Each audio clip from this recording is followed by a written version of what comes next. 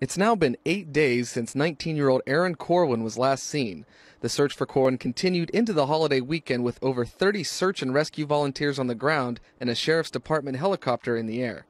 The search has covered a vast area of over 2,000 square miles. They're so remote, it, it, it's taking us entirely too long to get into specific areas um, that, that we're targeting. One of the locations being searched is Joshua Tree National Park, where Corwin was reportedly on her way to last Saturday morning but never returned. Her husband, Jonathan Wayne Corwin of 29 Palms Marine Base, reported her missing on Sunday.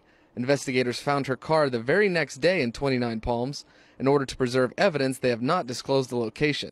Detectives say anything can be a crime scene at this point. We have to be careful how we enter uh, to make sure that we don't destroy what potentially could be evidence. Foul play has not been ruled out, and homicide detectives are helping with the investigation. At this point, no arrests have been made. Search and rescue volunteers, along with a specialized investigative team, continue their efforts and are not giving up hope.